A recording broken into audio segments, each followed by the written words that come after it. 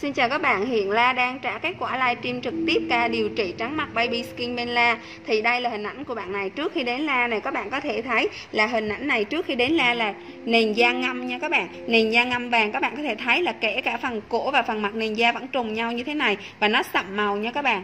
Đây các bạn có thể thấy đây là nền da của bạn này trước khi đến La.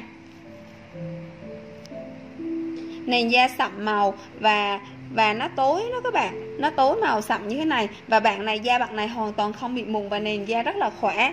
Chỉ có phần sẫm và tối màu thôi. Và đây đây là hình ảnh bạn này sau cái gói điều trị trắng mặt baby skin Mela đây, các bạn có thể so sánh được hai cái màu da vùng cổ và vùng mặt nha các bạn. Thì nó bật tông hoàn toàn, nhưng mà phương pháp kỹ thuật trắng mặt này hoàn toàn không hồi tông nha các bạn.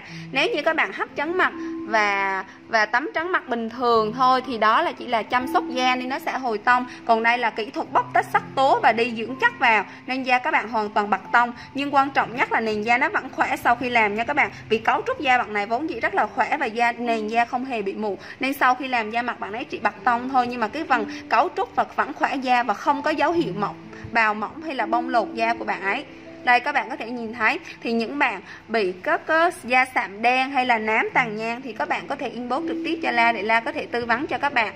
Và tất cả các gói liệu trình bên La mụn thâm, rỗ, trắng mặt, nám thì đều theo phương pháp không xâm lấn dẫn đầu. La không phi kim hay lăn kim, La luôn nhấn mạnh cái này cho các bạn thấy được sự khác biệt, là La luôn dẫn đầu phương pháp không xâm lấn để cho cái nền da của các bạn chỉ khỏe thôi, nhưng mà các bạn sẽ điều trị là sẽ hết trong tất cả các gói liệu trình tại La. Thì các bạn cùng so sánh và nhìn lại hình ảnh của bạn này trước và sau khi điều trị tại La nha. Đây các bạn thấy không? Nền da nó vàng nhưng mà nó sẫm màu như thế này.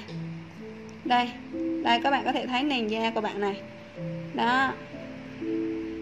Và đây các bạn có thể nhìn lại hình ảnh của bạn này sau khi làm gói liệu trình trắng sáng mặt tại La. Rồi các bạn có thể theo dõi thêm và nhìn kỹ hơn hình ảnh trước và sau dưới bằng comment nha. Ừ, cảm ơn các bạn đã theo dõi.